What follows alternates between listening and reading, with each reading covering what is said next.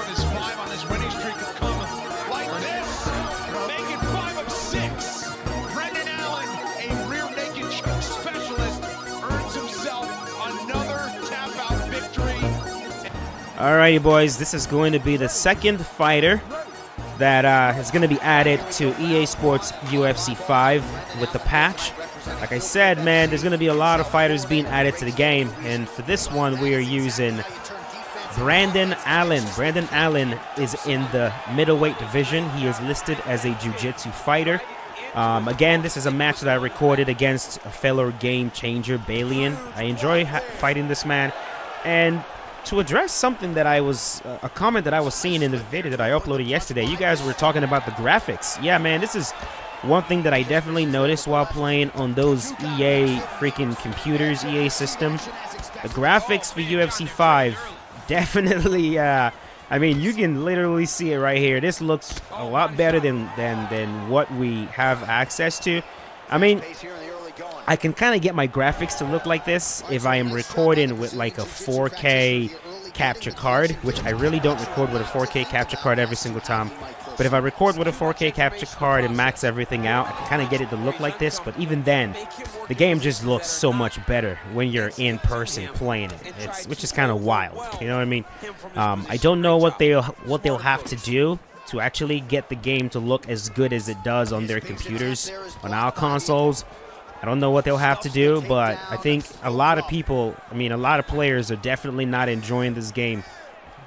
At least seeing the game in all its beauty, whatever the hell they're doing over there.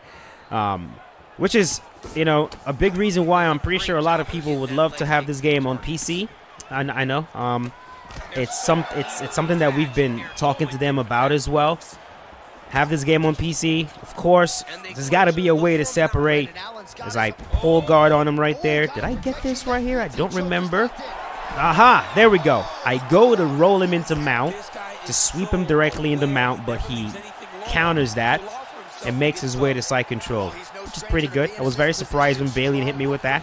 I was not expecting it, but uh, definitely made me wary. And you guys are gonna see the amount of time was spent in in half guard right here. His grappling's pretty good. It really is. So I was saying. It would be nice to have this game on PC. Of course, have a way to separate PC players from players that are playing on console. Just because PC players, you know, I mean, they, they have a lot of ways they can cheat. Did I get this right here? No. PC players have a lot of ways they can cheat, and to have PC players be able to compete against console players online, I don't think that would be a good thing. I really don't think so. I think that would be a recipe for disaster. Now, I don't imagine he got out of my heel hook right here. There we go.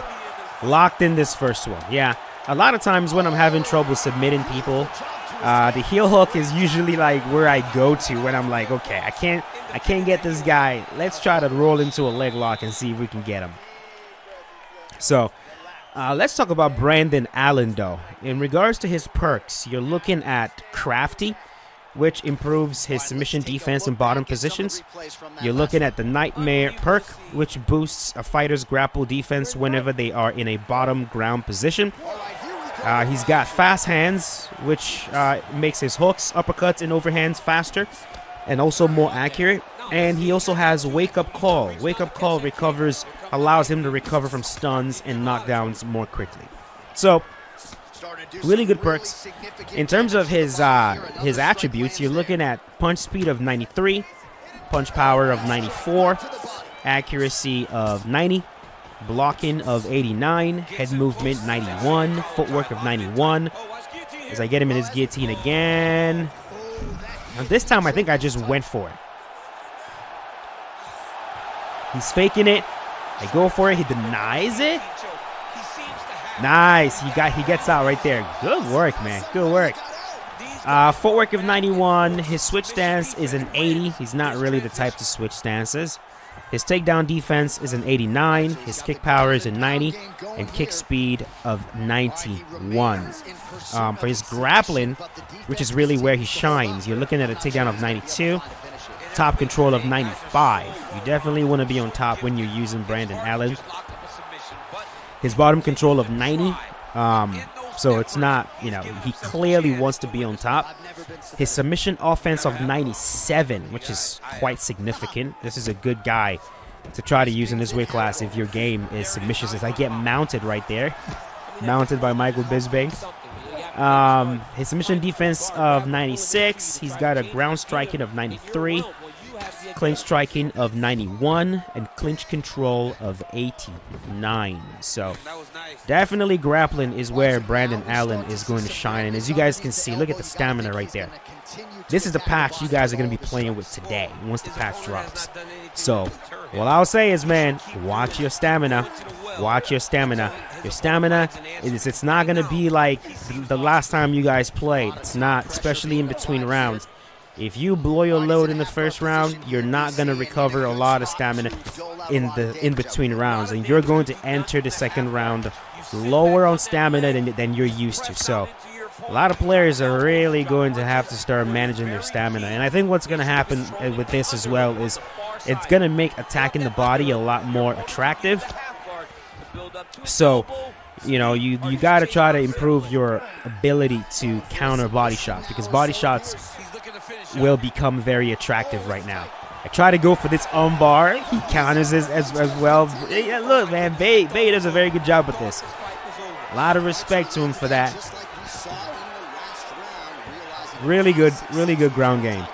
And my stamina is going down way more than him. He's proven through a lot of these matches that he actually does a better job of managing his stamina than I do, which is, oh my god, it's going to be interesting taking this patch online and uh, really seeing how a lot of players how they manage. It'll be interesting. So, continuing with Brandon Allen's stats for his health, his cardio is a 90. So, uh, that is definitely something to. it's not the best, especially compared to someone like Michael Bisping. So, as you can see, the stamina right now, bro, it's not looking too good for me. His chin, 94. His body health, 90. Leg, 89. Recovery, 93. And his cut resistance is a 92. In regards to his top moves, you're looking at a rear naked choke, level 5 rear naked choke. His cross is a level 4. His uppercut is a level 4. And he's got level 4 BJJ sweeps and level 4 BJJ reversals. So, and of course, Brandon Allen is 6 foot 2, which is, I think 6'2 is like the regular height in the middleweight division. You know what I mean? So he's a he's a good addition to the weight class. Really is. If you're especially if you're a grappler and you need more grapplers in this weight class, he's a very good addition. I mean, in terms of grapplers with good submissions in this weight class, you're looking at someone like Marvin Vettori, right? You're looking at Luke Rockhold. You're looking at uh, Jack Hermansson. Um, also in this weight class, I don't remember if they removed Demian Maya from this weight class, but in this weight class, right, you've got you've got Royce Gracie in this weight class, which is pretty good. You've got um, you've got Bo Nickal. Bo Nickal is a very good grappler in this weight class. You've got Jacare Souza in this weight class as well. Um, you have a lot of options, man. Like if what you're really trying to do is is to try to grapple, you really do have a lot of options. Um, not just that, you also have Paul Craig. Paul Craig in the middleweight division. Paul Craig has very good jiu-jitsu. So this is a this is a jiu-jitsu's paradise, honestly speaking. Um, yeah, you also have really fucking good strikers in the weight class. You know, guys like Israel, guys like Alex Pereira. But again, you want jiu-jitsu, middleweight division is a good place to go, right? You got Paulo Costa in there. You can just grapple the fuck out of him. So.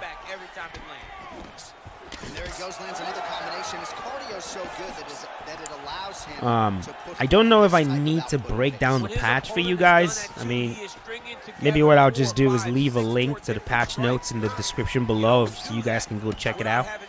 There is a lot of content that I am going to have to put out in the next next few days. The uh, some of the videos that I some of the footage I recorded in in Vancouver. Um, we gotta try to get those out to you guys. Mine's not gonna be released as quickly as the rest of the other guys, but I definitely am gonna show because I'd like I'd like to go a little bit more in depth with with what we did. There, we we we did a lot. We really did. So. All right, three rounds down, potentially two more to go. We are headed to the championship round. Headed to the championship rounds. Let me know in the comment section what you guys think about Brandon Allen's character model. I thought they did a very good job with him, if I'm being honest. When they were showing us some close-up images of, of this character, man, I was... Let me tell you, dude, like, while I was in Vancouver and I was and we were getting some behind the scenes, I was just wishing and praying that we had we had like photo mode. You know, like when I when I was playing The Last of Us, I was using their photo mode so much. Like I would just pause the game at random times, get the perfect camera angle, and just take a photo. And I love that with a burning passion, bro. Like no matter what action you're performing, you can pause it, get into photo mode, and get a picture. And you know that is what happens when the developers definitely wants you to take a look at when they're I guess when they're super proud of what they've done, they're proud of the artistic value of the game, and they want you to look at the game from every single possible angle. Um, I don't think EA is there just yet. I think UFC 5 is a beautiful game. Don't get me wrong, it is a beautiful game, but I don't think they've gotten to a point where they really want us to like, you know, fly into the crowds and fly all around and like see everything. Not yet, I don't think. Even though that would be dope, man. I think that would be just amazing. Like it would be nice to pause the game at any point, rotate the camera, get to whatever angle that I want, and just take a picture. If not for anything, for thumbnails, like that would be so dope.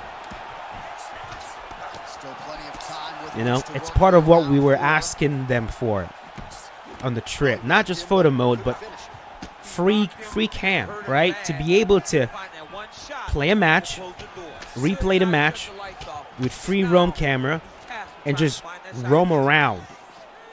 Move the camera wherever you want while you're watching the match. I think that would make for so much better content, so much more unique content. Like every single one of my fighter showcases will be cinematic. 100%. I would I, I would record these matches from different angles and I would replay it for you guys from multiple different angles. It would be so cinematic and beautiful. But because the only way we can do that is if we had that free cam. Right now, we just don't. For these body shots, and now you see the visible damage. Well, his coaches are wondering where's the defense. We worked on this. We you know, but if if we had free cam right now, you would you would like pause the game or something, or if we had like photo mode, you would pause the game, rotate the camera all over the place, and you would realize that Herb Dean is literally gone. Like he's not only is he not in frame, he is not in the octagon at all. um, you know, because they do this little trick, right? When you start a round, Herb Dean is right there, but then the moment Herb Dean disappears from out of frame, they remove him from the cage completely. I don't remember why they're doing it. I believe it's to save resources or something along those lines. But you'll see. If you haven't noticed that before, I've probably just ruined this whole entire game for you, which is my apologies. but in round number five, pay attention. Like Herb is gonna appear right now, somewhere, somewhere. There we go. There's Herb Dean. He appears right there. And you're going to notice Herb Dean at the beginning of round number five.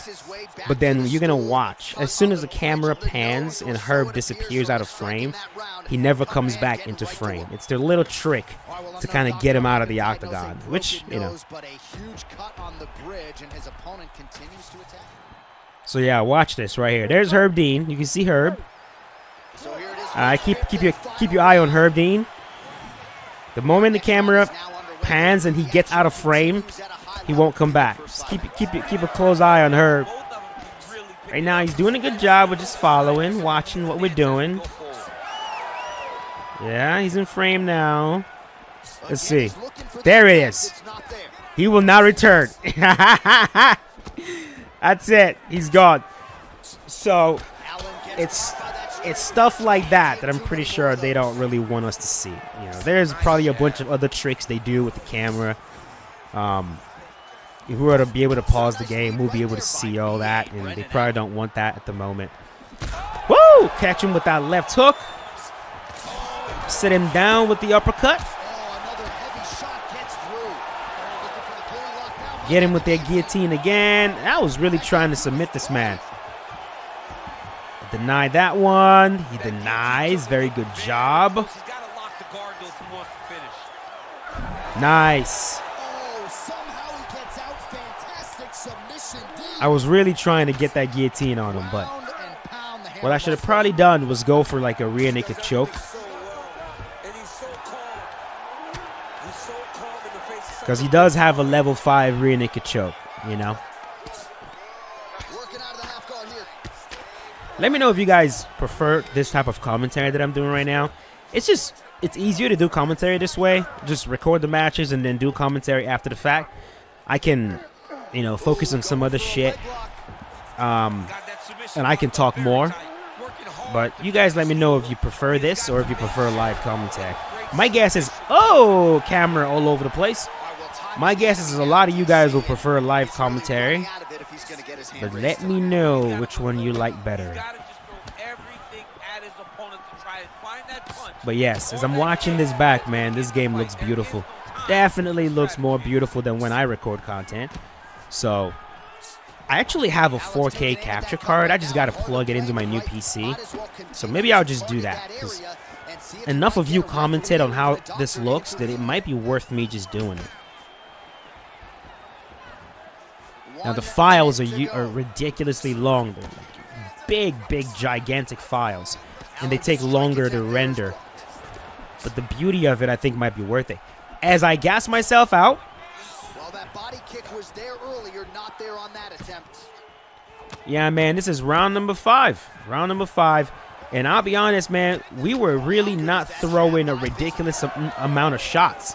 Like, for the most part, looking back at our strike Final 10 counts, they were more on the realistic side. And look at our look at our stamina. So, very, I'm looking forward to seeing what you guys report after you guys play around with the patch today. I, I, I'd like to see if you guys think the stamina is in a good place now, because I really think it's in a good place now.